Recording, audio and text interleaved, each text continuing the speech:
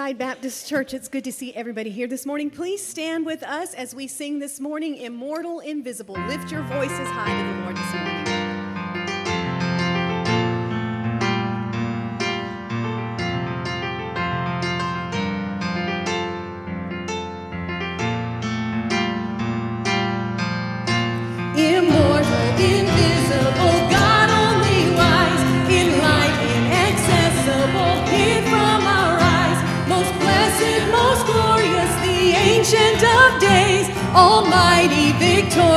Victorious, thy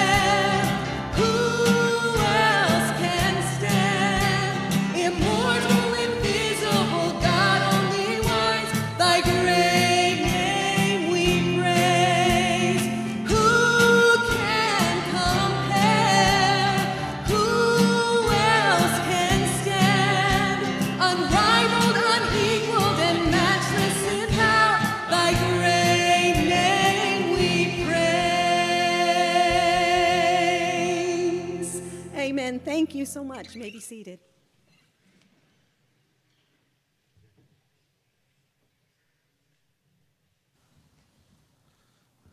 Good morning, everybody. Hope y'all are doing all right this morning. Uh, we are going to be reading from Psalm 119, uh, verses 113 to 120 this morning. Y'all go ahead and turn there. Um, while you're turning there, if you're a guest with us this morning, uh, the bottom portion of your bulletin, you can tear that off. If you would fill it out and put it in the offering plate when it comes by, uh, that just lets us know that you were here um, gives us a chance to follow up with you, just check in uh, on you as a church family. We just want to love you the best we can. We want to pray for you if there's a way we can pray for you.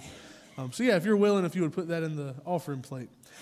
I don't have any announcements this morning, um, and nobody has given me any. So, check your bulletin. There are some announcements there.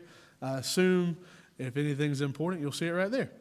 Um, all right, let's get to our scripture reading this morning.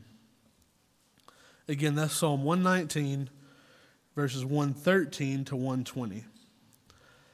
I hate those who are double minded, but I love your instruction. You are my shelter and my shield. I put my hope in your word.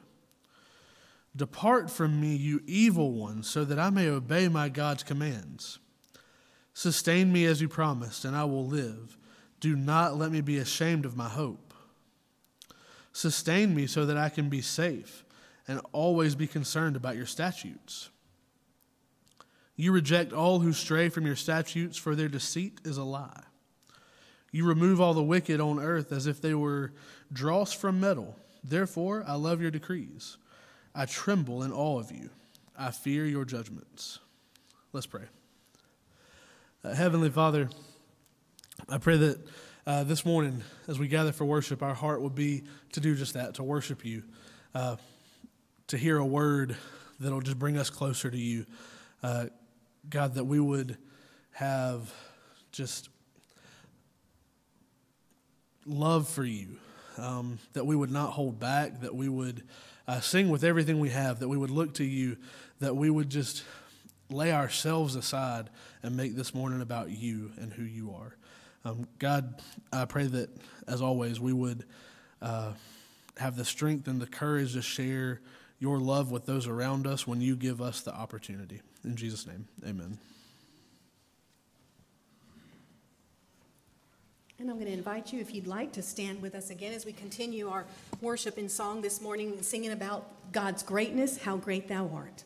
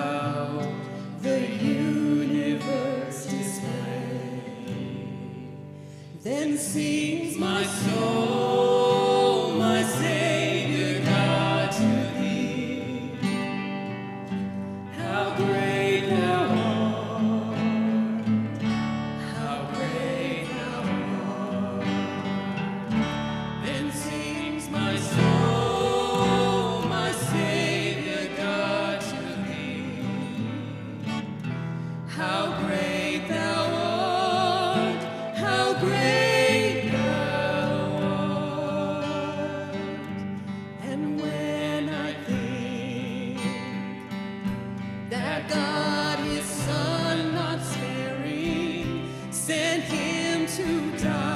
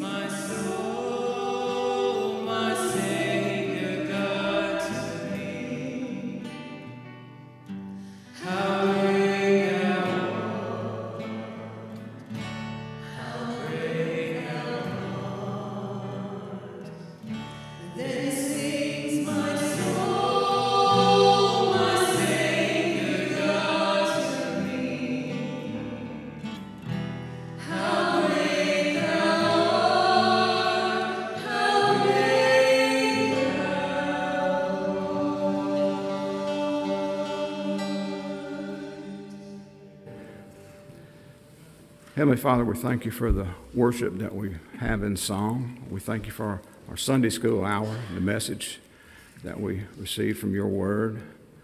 Father, we ask that you be with Preacher Mike this morning as he brings us the message, that it, it be what we need to hear, that we be attentive.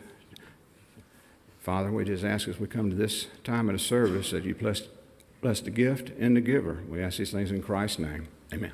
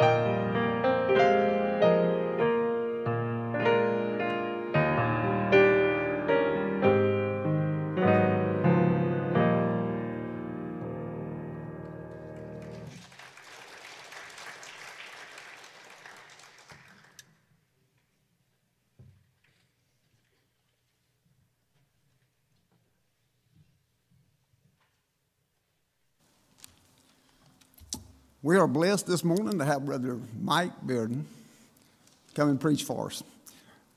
Brother Mike is, uh, and, and he likes to be called Preacher Mike, so we got that squared up right off the bat. Preacher Mike. Preacher Mike is uh, married for 51 years. He said he got married when he was 15 years old. he has three children and he has five grandchildren. He is a blessed man. His wife is named Iris, and she's on a trip, not with him this morning, but she'll be with him at, at the times that he comes back and preach. He was kidding with us the other day when we met, and he says that um, he was the preacher and she was the pastor, and that's a real good mix right there. Real good mix. He preached for 26 years at Fountain Inn First Baptist. He's been interim for nine years. He was interim at Mount Pisgah. Jones Avenue and Flat Rock. Those are the local ones right around close to us. We have talked with several people. I was kidding him this morning that we got his resume, and he said, I didn't send a resume. I said, It's not written. his resume is not written down. It's from people telling us uh, what kind of man he is, what kind of preacher he is, and how awesome God is using him. And we're just really, really blessed to be able have this young man come and preach to us this morning. We're going to vote as soon as the, the uh, service is over. Y'all be praying that God would just uh, give you the right words, the, the, right vision, the right thinking, and uh, just praying for Brother Mike that God would just turn him loose and let him preach. Y'all pray for him. Come ahead.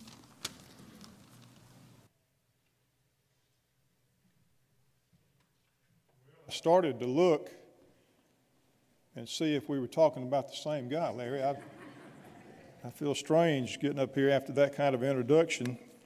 But my wife will be here next time I come, if I come. I hope I get to come back, and she can tell you different. All that is just a bunch of, that's what she'd say. Uh, we're not talking about the same guy, but anyway, I do appreciate that kind introduction.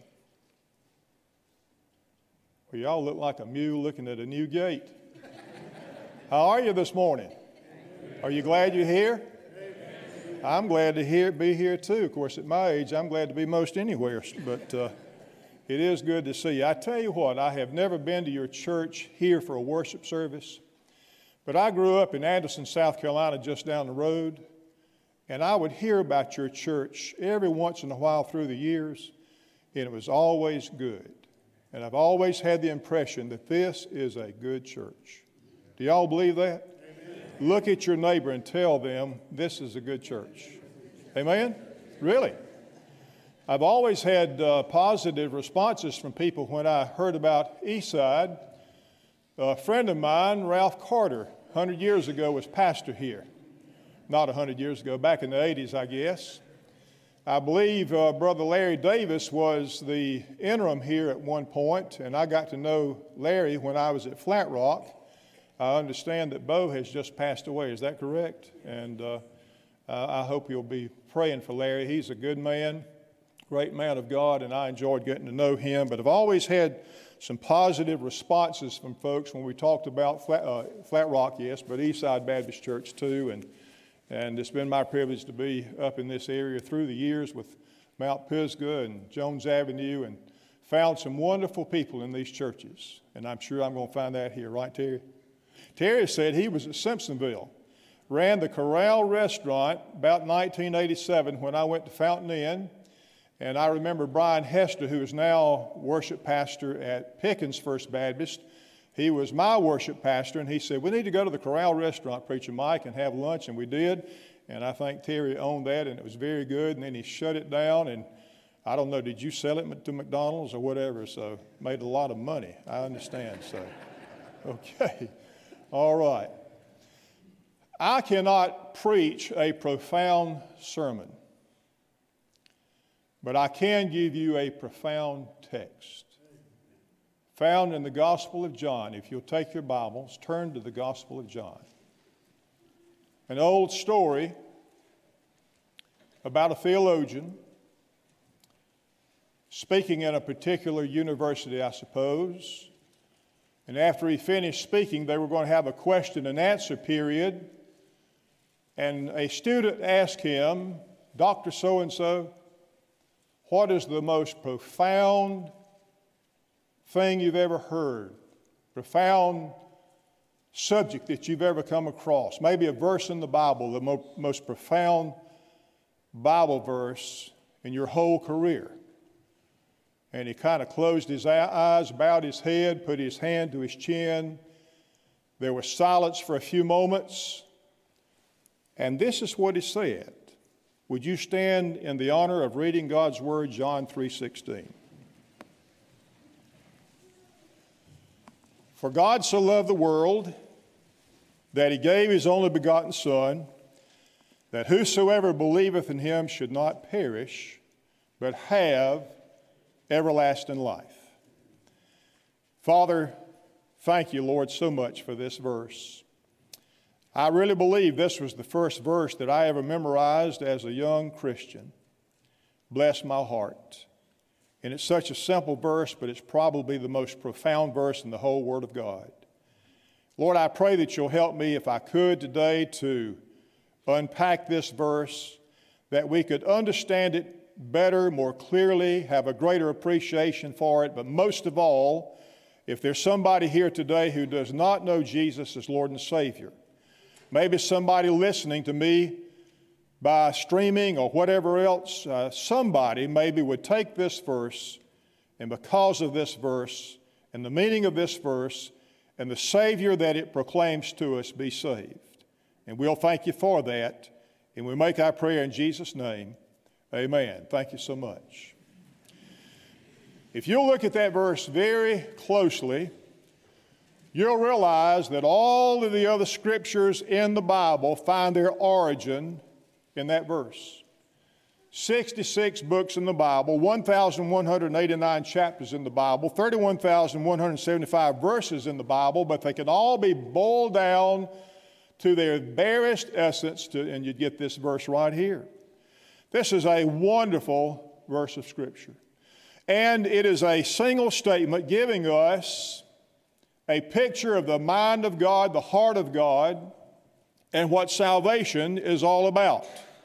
Now, some people do believe that this is the greatest verse of Scripture in the entire Bible, and some have said that it's the greatest sentence ever written by mankind.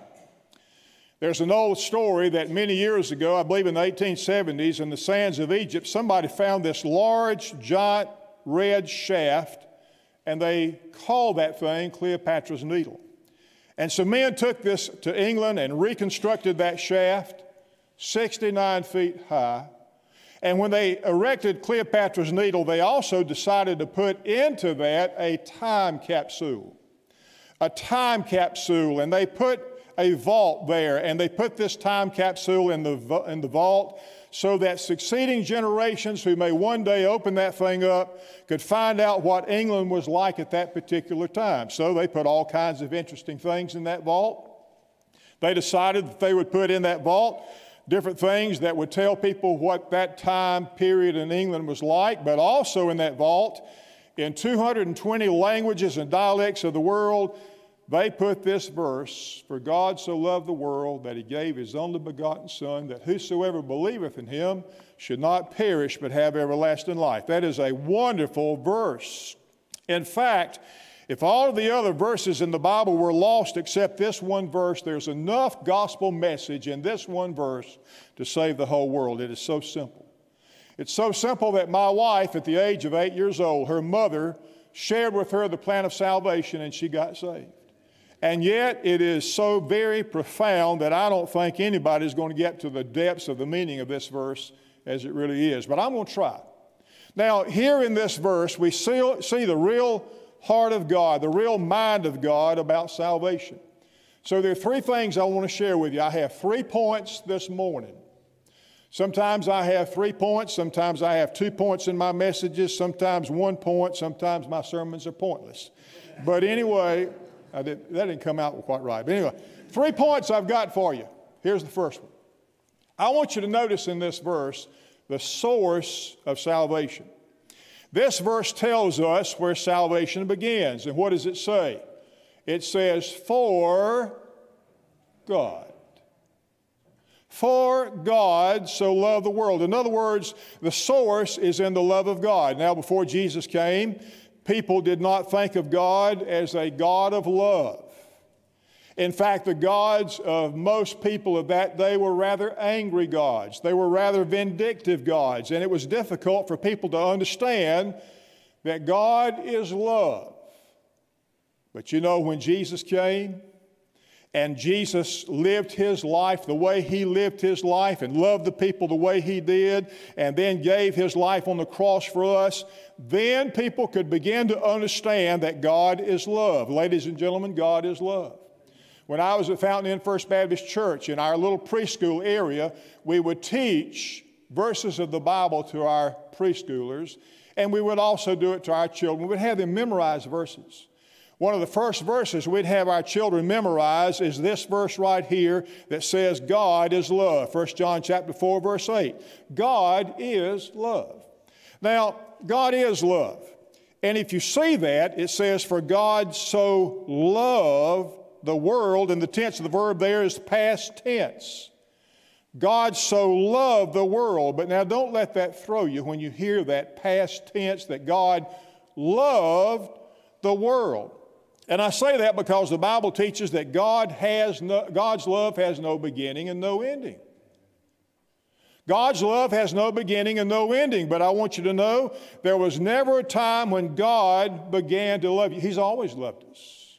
You say, How do you know that, Preacher Mike? Well, Jeremiah 31 3, God says, I have loved you with an everlasting love. In other words, it is a love that had no beginning, and it's a love that has no ending, and it's amazing to, to me to think I, I can't even conceive of that, that God has always loved me. Now, ladies and gentlemen, you may go away from here today and you may not remember anything else I say. But I want you to remember this God loves you. I have a friend who was at Montague Baptist Church, great man of God, a layman, Charlie Forrester. And everybody Charlie would talk with in his business out in the world, he'd say, You know what, Terry? And Terry'd say, Know what, Charlie? He'd say, God loves you, and I love you too. And that's the idea. God loves you, but here's the thing I want you to notice. There's a little bitty word there that qualifies that idea, and it says, For God so loved the world. What does that mean? Different translations have tried to help us understand it. So here's one translation that says, God loved the world so very much. Another translation says, God loved the world so dearly. Well, what does it mean when we say that God loved this world? Well, we could say that it means that God's love is like an overflowing river. God's lo- love is like a bottomless ocean. Volumes can be found in that little word. You could spend a lifetime plumbing the depths of that little word, and you would still never grasp the complete meaning of the word so. Now, my wife loves to sing, that's uh, one of her talents. She enjoys singing, and when I twist her arm real good, I can get her to sing a song that's one of my favorite songs called The Love of God. I love the third verse of that song, The Love of God. It says, Could we with ink the ocean fill, and were the skies of parchment made, were every stalk on earth a quill, and every man a scribe by trade, to write the love of God above would drain the ocean dry, nor could the scroll contain the whole, though stretched from sky to sky. Well, it says down here, God so loved the world. But I want you to notice the object of God's love. What is the object of God's love? Well, it's the world. That's what it says down here. God so loved the world. Well, what world is that talking about, Preacher Mike? Is that talking about this terra firma upon which we walk? You know, when you observe what kind of world this is, and this is talking about the world of mankind, God so loved the world of mankind. I don't know about you, but a thought pops in my mind. How could that be? Do y'all ever watch the news? I sit down, I watch the news every night, not because I want to, but I feel like I need to kind of keep up with what's going on. I mean, it's amazing to me that the source of love that begins at the throne of God and which is infinite in its capacity and intensity is a love which has as its object this world. And then I watch the news and I see where somebody walks into a schoolroom full of little children with an automatic weapon and starts shooting. And I think to myself, God, how could you love a world like this? You know what? You listening? God loves that man. Another man haunts the streets of a community taking young ladies in the prime of life, abuses them sexually, hacks their bodies up, and destroys their lives. That's awful. But God loves that person. And I'm having a hard time conceiving of that until I met a man named Raymond Hargrave. You don't know him. Raymond is incarcerated in the state prison system for murder. Some years ago, he, called, he, he, he sent word to me, he sent a letter to me. Back in those days at our church, we had a radio broadcast every Sunday morning, 11 o'clock. And in the prison, he had listened to the radio broadcast, so he sent me a letter. He said, I want you to come see me. You know what I did with that letter? I threw it in the trash can. I thought that's just jailhouse religion few weeks later, he wrote me another letter and he said, Preacher Mike, I realize that you probably are skeptical of my first letter, but I want you to understand that I've been saved. I really want you to come visit with me. Well, that got my attention. And I went and visited with Raymond. And Raymond committed murder. He broke into a man's house in Simpsonville thinking nobody was home. He was going to steal some things for drugs. The man happened to be home. There was a scuffle. Raymond murdered him. Took him a while to be able to admit that. So, probably now for 27 years, I've been visiting him several times in the prison system, talking to him, and he is a dynamic Christian. Now, he murdered the man. He'll tell you, I murdered the man. But you know what? God loves Raymond Hargrave. God loved him enough to save him. Now, God does not condone the sinful actions that take place by people in this world every day, and God will judge those actions someday if they're not repented of. But our sinful actions or the judgment God may have to bring upon them do not for one moment lessen the love of God for us. Not one moment. You take a mother's child, that mother's child does not always please her in its actions, but Misbehavior never dulls the love that mother has for that child, and that's true of God in a much greater way. God so loved the world, everybody in it. That includes you. Somebody says, Well, Preacher Mike, what makes it possible for God to love a world that is so sinful and ugly and polluted well, friend, if you're really honest, you'll admit that most of the time your love and my love has to depend upon the desirability of the object. In other words, if you behave, I'll love you. If you don't behave, I won't love you. That's kind of the love, that's the way we approach love from our point of view. But God's not that way.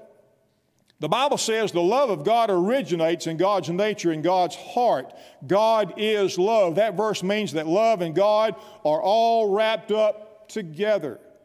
Love is the very nature of God, and the desirability of the object has nothing to do whatsoever with whether God, God loves you or not. Please don't ever tell a child, and I've heard parents do this, if you do that, God won't love you anymore. That's poor theology. That's just not right. They don't need to misbehave, but God still loves them. God so loved the world, and that includes everybody who has ever lived, who is living, who will ever live, and that can make you feel small if you think about yourself in contrast to the millions of people who've ever lived. Do I have any Clemson Tiger fans here that'll admit it? Terry will. Well, I grew up in Anderson, almost under the shadow of Clemson University. I'm, I'm a big Clemson Tiger fan. I remember years ago, the first time I ever went to a Clemson football game, and, and it wasn't near as big as it is now. They'd never won a championship at that time. Smallest stadium, but still, I had never been in a crowd of people that big. And I remember walking into that stadium, I had never seen a crowd that big, and I felt about that small. I thought to myself, who am I in all this crowd, this mass of humanity? Do you know what? God does not look at us as masses. He looks at us one by one. One of the early church fathers, St. Augustine, said, God loves each one of us as if there were only one of us to love. Somebody says, Well, preacher, you don't know what I've done. Boy, I've heard that, and Robert has too, all my life. We'd be witnessing somebody, Preacher Mike, you don't know what I've done. Well, you're right, I don't know. But I do know that regardless of what you've done, God loves you. Listen to this and think about this. You cannot be bad enough to cause God to stop loving you. And that does not mean that God won't deal with your sinful actions if you insist on pursuing them, but it does mean that God will still love you, just like that mother who has to discipline her child for misbehavior still loves that little child. God loves you, and this is what salvation is all about. We learn here the source of salvation, for God so loved the world. But now here's point number two not only the source of salvation, I want you to understand and see the sacrifice of salvation. For God so loved the world that he gave. See that word gave? And it's right here that we focus in on the real meaning of salvation. God gave. You see, God's love is a giving kind of love. God's love is a giving kind of love. You know, the test of love is found in the lengths to which it will go to express itself. The real test of love has to do with the amount of sacrifice it's willing to make. It concerns how the love will demonstrate itself. Like this old boy wrote a note to his girlfriend, and he, and he said to her, Mary, dear Mary, I love you. I love you so much I'd climb the highest mountain for you. I love you so much I'd swim the deepest ocean for you. Mary, I'd go through the darkest jungle for you. And P.S., if it doesn't rain Friday night, I'll come over to see you. well, Love demonstrates itself by the sacrifices it will make. I think back to my wife when we kind of got sweet on each other and the relationship was deepening and strengthening and we were being drawn together. And so I popped the question. We went to a real swanky restaurant, sitting outside in a Volkswagen Beetle. Shoney's restaurant. Over a hot fudge cake, I popped the question. And she said, yes. Now that's the way I took it, but she may just been after that first bite, she said, yeah. but no, I took it, you know, you understand what I'm saying. But you know, as an expression of my love for her, I wanted to give her a ring. So I went to Phil Jewelers downtown Anderson. I talked to Phil Silverstein and I said, I, I, need to get a diamond ring. So they bought these diamond rings out and they put them against the, the backdrop of black velvet, put them under these lights, and those things are just twinkling and carrying on. And I said, I think I like that one. And so you know what I did? I was working the State Forestry Commission, going to college at that time. I didn't have any money, so I put it on layaway. Do they still do that? Do they do layaway now? I don't know if they do it or not. But that means, you know, they'll keep the ring, but you make payments on it, you know, over, over a period of time till you pay that thing out. And that was a sacrifice. I worked hard in that blazing sun to buy that ring. Sacrifice. Love demonstrates itself by the sacrifices it will make. Let me tell you what, God demonstrated His great love for us because He sacrificed. What did He sacrifice? Well, His Son. Y'all know Hallmark cards, you know the Hallmark greeting cards? And the Hallmark, I don't know if they still do this, but they used to have as their theme when you care enough to send the very best. Well, that's what God did. God cared enough to send His very best, His Son, but not just His Son. Notice the verse says that it was His only begotten Son. Now, there are a couple of ways you can understand that word begotten. It can mean only one, that's his only one. It's only one son, not two, not more than that. Only one. Jesus was the only son the Father had to give us. I have three sons. I've got two here, one in heaven. Folks, I know what it's like to lose a son. I don't ever want to go through that again. Don't want to do that. I got two sons still but I lost one. You see, God the Father just had one son. And yet he loved us so much that he was willing to give that only begotten son to die for us. But not only was that, that word uh, begotten mean only one, it also means unique. Jesus, his son, was unique. He was unique in his birth. Do you like riddles? Here's one for you. Jesus was the only person ever born into this world who never had an earthly mother, but he had no earthly father. He had a heavenly father, but no heavenly mother. He was the only one ever born who was as old as his father and older than his mother. he was unique in his birth, see. He was unique in his life. He's the only person ever lived who's never done anything wrong, didn't ever think anything wrong. And I think about that, and I, I have a struggle every day. Things pop into my mind. Where'd that come from? Jesus, I don't want that. But Jesus was not like that. He lived a perfect life. He was unique in his death, dying for the sins of the whole world. And then when he died, he did not stay dead, but he broke the chains of death and rose again from the dead. Amen? You see, God gave his only begotten Son. He gave the very best that he had, and he gave his Son because there was no other way to be saved. And if you're out there trying to live a good, perfect life in order to get to heaven, stop it. Because it is completely impossible, and you need to trust Jesus because He's the only way to be saved. If it wasn't, why did God give His Son? God gave His only Son, and that's the sacrifice of salvation. But now I said there were three points. Point number one, the source of salvation. Point number two, the sacrifice of salvation. Now, number three, the scope of salvation. Look what it says. that whosoever believeth in him should not perish, but have everlasting life. And there's several things I want to say about the scope of salvation. Number one, it reaches down to humanity. In fact, the Bible says, whosoever believes in him. Say that word, whosoever. Let me ask you a question. Are there any whosoever's in here? Yes, sir. Every one of us in here fit this category. Whosoever reaches to everybody on the face of the earth. Now, mankind has his prejudices, doesn't he? But I want you to know there is no prejudice in the heart of God. Salvation is for the black man as well as the white man. Salvation is for the Arab as well as the Jew. Salvation is available to anybody and everybody. There was a song I, I learned when I was in preschool 100 years ago Red, yellow, black, and white, they are precious in His sight.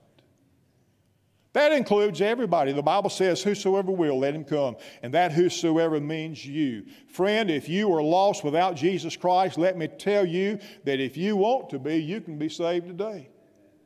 Whosoever will, let him come. The Christ of salvation will save you. That whosoever included the Samaritan woman at the well. It included that military officer, that Gentile Roman army officer Cornelius. It included that black man, most likely, that Philip baptized, book of Acts, the Ethiopian eunuch, and it can include you, just you, anybody, everybody, whosoever will let him come. Reaches down to humanity. But now listen to this. Did you know it also rescues from hell? It rescues from hell because hell is in that verse. Whosoever believeth in him, talking about Jesus, should not perish. Should not perish. Hell is in that word perish. Now, some people, some people today believe, Preacher Mike, I just believe everybody's eventually going to go to heaven. Not. Bible doesn't teach that. Well, I just, it's not up to your feelings. The Bible does not teach that. That's not what Jesus taught. Jesus taught that a man who dies in his sins will go to hell and perish. And let me say, you will go to hell if you're unsaved, but you will not go to hell unloved. God loves you. But you can go to hell if you don't know Jesus. And here's what Jesus did He warned us not to go there. And Jesus knew it was so bad, He did not want us to go there. He warned us not to go there. And listen, folks, what is salvation all about if there is no hell? Several years ago, there was a preacher, he'd been a pastor for a number of years, had one of the largest churches in America. And I don't know what got wrong with that guy, but he quit his church, wrote a book. In the book, he said, There's no such thing as hell. Let me tell you what, folks. What is salvation all about if there's no hell? Why did Jesus have to come to this world anyway if there's no hell? What was the purpose of Jesus coming and dying on a cross if people are not perishing in their sins? But here's the reality people are perishing in their sins. Every day they're dying in their sins. And Christ was born into this world that we might one day go that he might go to the cross and provide a means of escape for all of us who are destined to hell for otherwise. You know, the text says that whosoever believeth in him should not perish, but have, er, have everlasting life. I got a little grandson now, my oldest grandson. One grandboy's already been saved. This is my oldest grandson, and he's asking questions, and he's thinking about heaven and hell, and he's, he's saying, I want to go to heaven. His daddy told me that the other day. He's getting close. Y'all pray for me. He'll be saved soon. All my grandchildren. He wants to have everlasting life. He don't want to go to hell. Whosoever believeth in him should not perish, but that little word, but, that's a great word. Called up in that little word is the hinge of man's hopes. Should not perish, but. Boy, that's a great thought. This is the thought. You don't have to go to hell. When I was growing up in Anderson, I ran with the wrong crowd. I had a group of guys, we got into things we shouldn't get into. And I remember one discussion, we were, we were just, I think we were just in middle school at that time. They were having a discussion before school one day. I don't know why they got on spiritual matters, but they got to talking they said, Well, I guess I'm going to hell someday. Well, here's the good news for you you don't have to. You don't have to go to hell. God loves you so much that He wants you to share heaven with Him. Now, all of us are going to die someday unless Christ comes back first, and that could be a real reality. But if he doesn't come back, everybody in this room is going to die someday. Iris and I were traveling in Arizona a few years ago. And of course, we went down to Tucson and Tombstone and went out to Boot Hill at Tombstone. I was looking at all the graves out there. And, you know, I came across this one grave that said something like this Here lies Les Moore, who died from a bullet from a 44. No less, no more. We're all going to die someday. Where are you going? What is your destiny before, beyond death? What's going to happen to you when you die? Well, Preacher Mike, I've I'm, I'm a young person. I've got a number of years left. You may not have as many as you think. You see this gray hair? I've been in the ministry a long time. I buried people from little babies who did not even get the light, the air of a breath of day, the breath of life. I buried children. I buried teenagers. I could tell you some stories. I buried older people. The oldest one I've ever buried is 107 years old. But like Genesis chapter 5 says, and he died, and he died, and he died. Friend, you're going to die someday. What then? You only have two, two possibilities there's heaven, there's hell, and what's going to happen to you? Well, Preacher Mike, what do I have to do to have eternal life? That whosoever believeth in him. Well, I believe in Jesus. I know he was the Son of God. I know he died on the cross to save us from our sins. I know all these things about him. You know what you call that? Mental assent. That's having a lot of ideas and thoughts in your mind about Jesus. Now, my wife is a school teacher. Of course, she's retired now, but still teaching some substitute teaching, and she, she teaches the kid history. She, that's what she teaches. And so, you know, I remember when I was in school, they told me that George Washington was the first president of the United States. Okay? I'd never met George. I've never seen him in person. But somebody told me that. Okay, I believe that. All right, George was the first president. I mean, I really don't know, they're just telling me this. So I've got this in my mind, a fact in my mind that's called mental assent. I believe that Jesus was the Son of God, that He died on the cross, rose from the dead. All that's in my mind, that's mental assent. The only thing about that is that the Bible says in the book of James that the demons believe that. They know all that. So salvation is not enough just thinking those things and saying, I agree with that. Somewhere along the way, you got to move it from here down to here. I say approximately 18 inches. Some people are going to miss heaven by 18 inches. Because you've got to get your knowledge about Jesus from here to here. And that's what that word believe means. It's the idea where you make a commitment of your life to Jesus Christ. A friend of mine had heart surgery this past Thursday.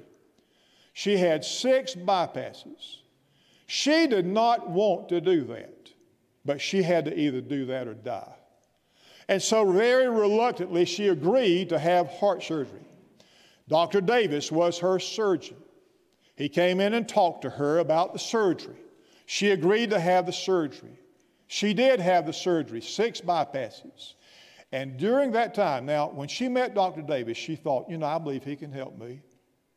I don't have any assurance about it, but I believe he can. I've heard good things about him, good heart surgeon. I believe all this. So I'm, Doc, I'm scared. I don't want to do this. But I'm going to trust you to take care of me about my health. You know what? She came through wonderful. She's doing wonderful. Well, now take that and translate that spiritually. Here's Jesus. They tell me that he died on the cross, rose from the dead. Okay, I, I believe that. But it's not enough to do that.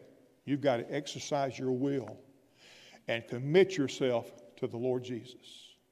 In your heart, in a simple little prayer, you can just say, Dear Jesus, I know I'm a sinner. I'm sorry for my sins. I accept you right now as my Lord and Savior. Best I know how, I receive you as my Lord and Savior. And the Bible says, For whosoever shall call upon the name of the Lord shall be saved. That word believe means you make a commitment to the Lord Jesus with your life. Have you done that? Jerry Vines has preached in the area some, and he's one of my favorite preachers. And I heard him give this illustration some years ago, so I'm going to use it. I'm going to borrow it from him.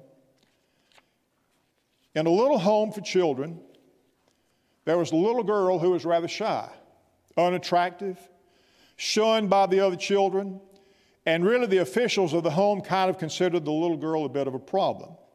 They were looking for some excuses to get rid of her and maybe send her on to another home. And then one day they saw that little girl slip away through the fields and trees on the place. And they began to watch to see what she was doing. And they watched her climb up into a tree and they watched her deposit something in a hollowed out place in the tree. And when the little girl left, the officials hurried to the tree, reached into the hollow, found a note the little girl had written, and they opened up the note and read the note.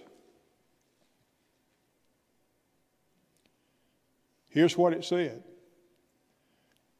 To anybody who finds this, I love you. God sent his son Jesus to die on a cruel cross. And then God put in the Bible John 3:16 that says, "To anybody who finds this, I love you." Amen. I ask you to bow your heads, please. Close your eyes. I'm going to ask the musicians to come and prepare for our invitation hymn. Robert, I'm going to ask you to stand here, please. As we sing in just a moment, if there's something that you need to do for Jesus today, if there's a spiritual decision that you need to make, why don't you come take Brother Robert by the hand? You've gotten to know him. He loves churches, he loves you. And just tell him your decision and He can counsel with you, help you any way that needs to be done. If you've never been saved, pray right now. Ask Christ to come into your heart, and you slip down this aisle and share that with Brother Robert. If there's some other decision that you need to make today, you come down this aisle during this time of singing and talk to Brother Robert. He'll help you. And we'll be praying for you when you come. Father, I pray now, Lord, as we come into this time of invitation, that you'll move in this room and have your will and your way and we'll give you the glory. We pray in Jesus' name. Amen. Let's stand now as we sing, please. Everybody stand.